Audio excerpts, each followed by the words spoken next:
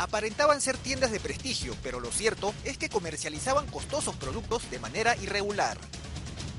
Tres exclusivas joyerías fueron intervenidas por personal de la División de Delitos Aduaneros de la Policía Fiscal, debido a que vendían joyas de aparente origen ilegal. Se pudo constatar la existencia de 416 diamantes, esmeraldas y eh, aros con incrustaciones de, eh, de diamantes, ¿no? cuyo valor total ¿no? ascendería a un aproximado de 7.280.000 soles.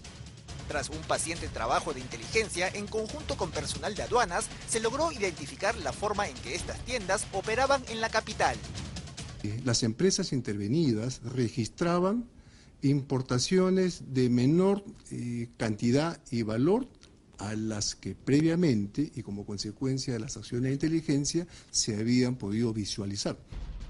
Durante el operativo, que se realizó de manera simultánea en los distritos de Miraflores y Surco, los encargados de los locales no pudieron demostrar la legalidad de los productos que estaban en exhibición.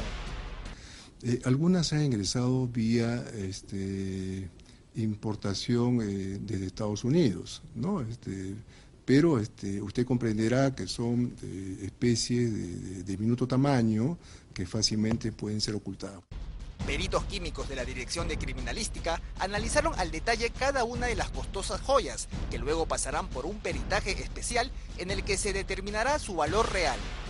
El trabajo de, de inteligencia eh, se inició en el mes de mayo del presente año, donde se estuvo acopiando una serie de indicios, evidencias, documentos que hayan acreditado eh, al personal interviniente.